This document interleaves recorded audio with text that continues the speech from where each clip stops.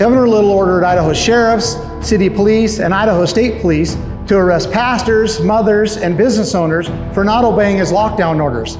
Thousands of Idahoans were put out of business. Governor Brad Little simply does not understand the First Amendment here in Idaho. Religious liberties and the U.S. Constitution were decimated under Brad Little's orders. Now Brad Little is saying, I kept Idaho open. He is saying that his emergency declaration never violated or restricted any rights of Idahoans, never put Idaho on lockdown, and never allowed for mandates for masks or vaccines. If Brad Little's emergency orders never violated or restricted any rights of Idahoans, like he said, then why did police in Idaho strip the Bible from a pastor's hands, handcuff and arrest him for holding a church service? Why is an Idaho mother still being prosecuted today by the state for taking her children to the park? If Governor Little kept Idaho open, then why did he implement a four stage plan to reopen Idaho?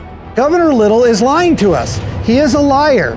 And he must think the people of Idaho are so stupid that we will believe anything he tells us.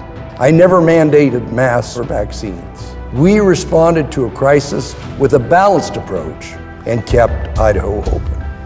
I'm Ammon Bundy, and I'm running for governor because I'm sick and tired of all the political garbage that's happening in Idaho, just like you. I'm tired of our freedoms being taken from us, and I'm tired of the liberal agenda being pushed from our Idaho capital. I'm tired of the waste and corruption that is in our state and federal governments. I'm running for governor to fight and win the conservative battle in Idaho.